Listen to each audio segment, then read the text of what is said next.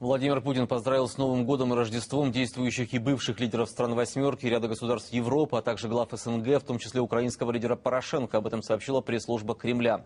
В частности, Обаме президент напомнил об ответственности России и США за поддержание мира и международной стабильности и отметил, что наше партнерство могло бы успешно развиваться, опираясь на принципы равноправия и взаимного уважения. В послании Меркель Путин выразил надежду на продолжение конструктивного диалога и активной совместной работы между Москвой и Берлином.